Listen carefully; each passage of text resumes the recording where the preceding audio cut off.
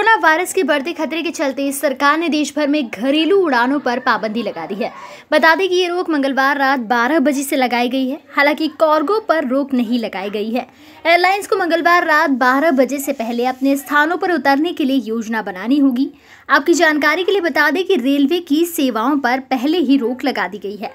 महामारी बने corona virus ने अब देश की रेल और हवाई सेवा दोनों पर रोक लगा दी है। कोरोना वायरस के बढ़ते खतरे के चलते इंदौर को लॉकडाउन किया गया है।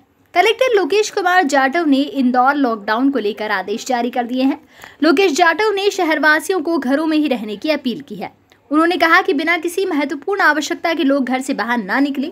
इंदौर में चलने वाली समस्त सिटी बस और आई बस को तत्काल प्रभाव से बंद करने के आदेश दिए गए हैं। सभी बसों को तत्काल डिपो बुलवा लिया गया। Subscribe our channel and press the bell icon for more updates.